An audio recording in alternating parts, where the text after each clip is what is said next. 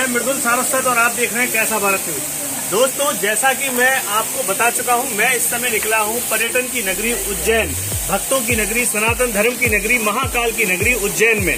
और हमारे पीछे आप देख सकते हैं महाकाल मंदिर के ही प्रांगण में यहाँ पर एक जल कुंड है, जिसे दीर्घ जल कुंड कहा जाता है। और इसकी भी महिमा अपरम्पार है, इसकी भी बड़ी महिमा है, इसकी भी बड़ी विशेषता है। इस कुंड से भगवान राम का, भगवान हनुमान का, भगवान महाकाल का और तमाम भारतवर्ष की जो पवित्र नदियाँ हैं, उनसे भी इस कुंड का बड़ा गहरा ताल्लुक है। साथ साथ इस कुंड से कहते हैं कि कुछ गुप्त गुफाएँ हैं जो चारों धाम के लिए जाया करती हैं। इस कुंड का एक बड़ा ही अलौकिक महत्व है। आज मैं आपको इस उज्जैन महाकाल मंदिर के इस कुंड में लेके आया हूँ और यहाँ के बारे में आपको एक एक बात एक एक करके आपको बताने वाला हूँ तो चलिए अब मैं आपको दर्शन कराता हूँ इस दीर्घ कुंड के, जिसे दीर्घ जल कुंड कहा जाता है। और सामने देख सकते हैं भगवान बजरंग बली की मूर्ति है, जो इस कुंड से बहुत गहरा ताल्लुक है उन महावीर बजरंग बली का। तो चलिए अब हम चलते हैं इस कुंड से आगे और यहाँ पर हमारे साथ मौजूद है। इस कुंड पर हमारी, इस रिपोर्ट पर हमारे साथ मौजूद है इंदौर के हमारे ब्यूरो प्रमुख राहुल। और इस कुंड के बारे में, यहाँ के बारे में इनको बहुत ही नॉलेज है। हम इनसे भी जानेंगे कि इस कुंड का क्या महत्व है। यहाँ पे मौजूद मूर्तियों का क्या मतलब है। इस कुंड से हनुमान जी का क्या ताल्लुक है? बजरंग का क्या ताल्लुक है? भगवान राम का क्या ताल्लुक है? नदियों का क्या ताल्लुक है, वो सारी बातें हम आपको बताते हैं। तो आप हमारे साथ बने रहिए कैसा भारत न्यूज़ के कैमरे पर और हम आपको इस कुंड के पवित्र दर्शन के साथ साथ इसकी महिमा के बारे में भी पूरी तरीके से बताते हैं और इस कुंड की खासियत और विशेषताओं के बारे में बताते हैं। इस कुंड के जो भी दर्शन है, वो हम आपको कराते हैं। इस कुंड का बहुत ही गहरा ताल्लुक है। चारों धाम से भगवान राम से भगवान बजरंग बली से। तो चलिए हम लेके चलते हैं आपको धीर कुंड में आगे की ओर और, और यहाँ के बारे में सब कुछ एक के बाद एक बताते हैं।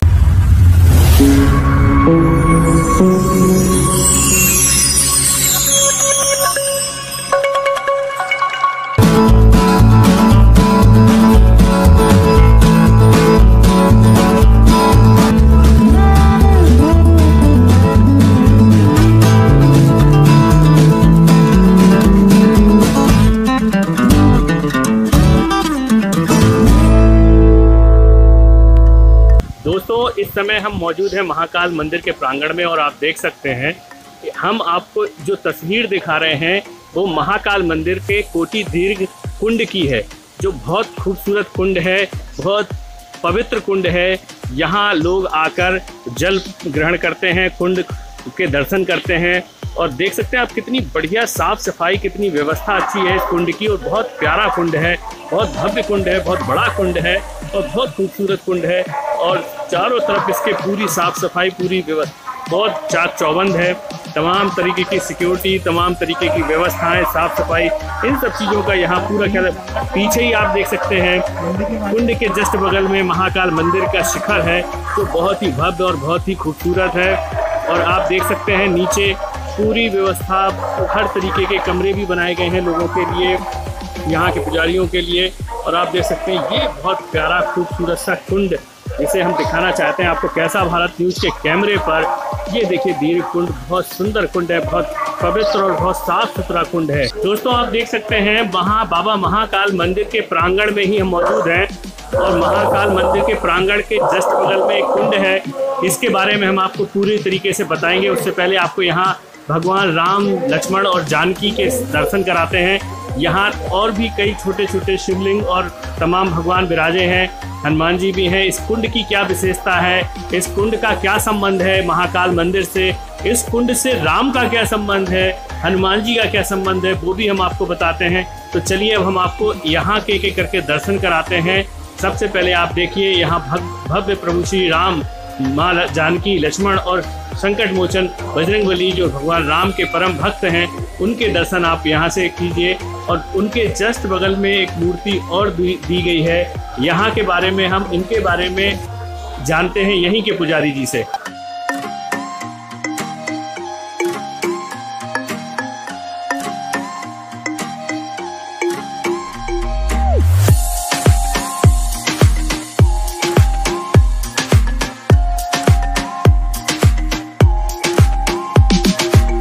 नमस्कार पुजारी जी।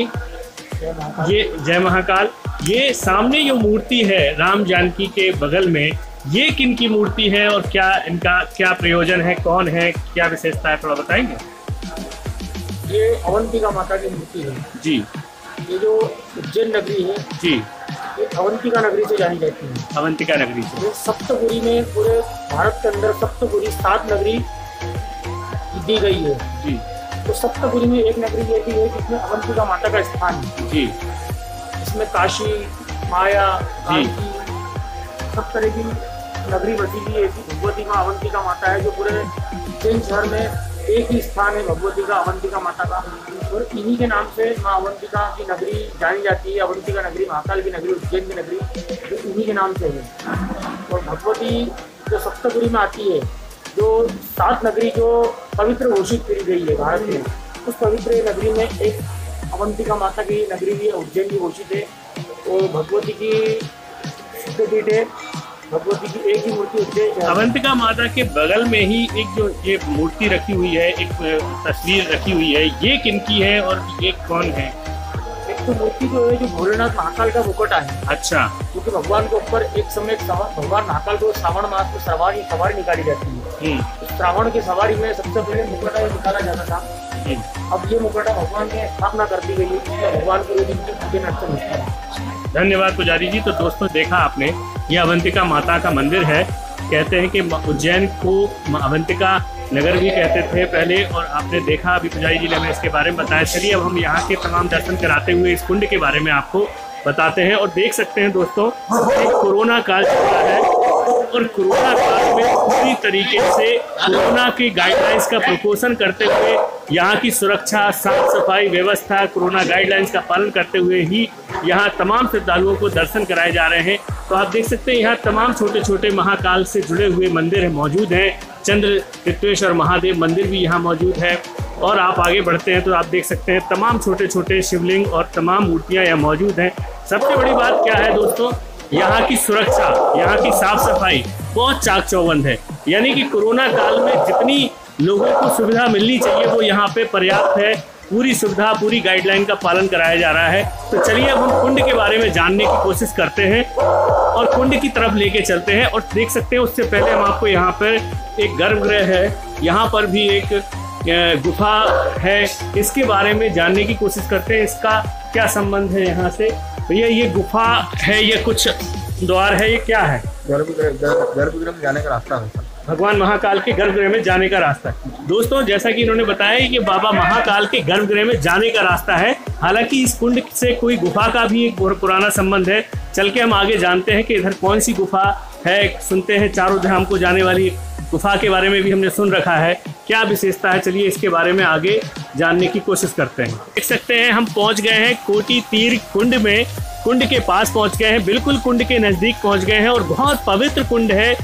कोटी कुंड, तीर कुंड इसे क्यों कहते हैं? इसका क्या संबंध है? महाकाल मंदिर के प्रांगण में मौजूद है और कोटी तीर कुंड इसे क्यों कहते हैं? इसके जल को इतना पवित्र क्यों माना जाता है? क्या कारण है? लोग इस जल से अभिषेक करना, महाकाल का अभिषेक इस जल से किया जाता है। क्या कारण है? क्यों इस जल को इतना पवित्र कहते हैं? कोटी तीर कुंड का क्या इतिहास है? यहाँ पर हमारे साथ कैसा भारत न्यूज़ के इंदौर के ब्यूरो प्रमुख अवल को यहाँ की जानकारी है।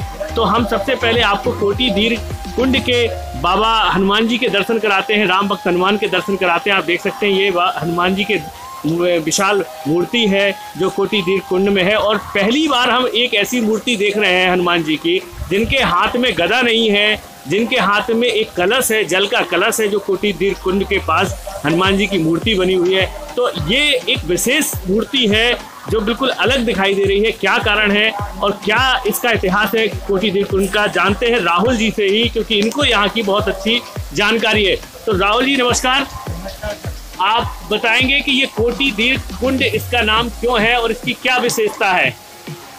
ऐसा कहा जाता है कि एक बार बजरंगबली जब भगवान राम रावण से युद्ध करके अयोध्या वापस आए तो उनका राज्यभिषेक होना था। तो राज्याभिषेक के लिए सातों नदियों का जल मंगाया गया। तो जल मंगाने के लिए जो जल मंगाने की ज़िम्मेदारी थी वो भगवान हनुमान को दी गई। तो भगवान हनुमान जी जब सातों नदियों का जल लेकर साथ में यहाँ उज्जैन में क्षिप्रा नदी भी बहती है तो क्षिप्रा नदी का जल लेने भी जब आए तो देखा ये कुंड पूरा सूखा पड़ा है और यहाँ पर कुछ भी पानी की बूंद भी नहीं है। तो उन्होंने वो सातों नदियों का जो जल जो लेकर आए थे उस जल को इस कुंड में प्रवाहित किया, उसका कुछ अंश इस कुंड में प्रवाहित किया, जिसमें भारत की समस्त, जैसे गंगा, यमुना, नर्मदा, जितनी भी पवित्र नदियाँ हैं, वो सारी नदियों का जल था तो वो कुंड में प्रवाहित कर दिया।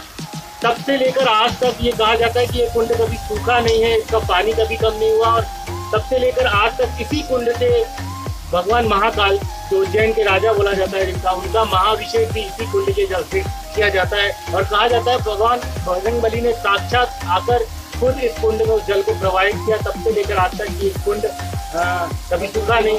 हमेशा इसमें जल बना रहता है।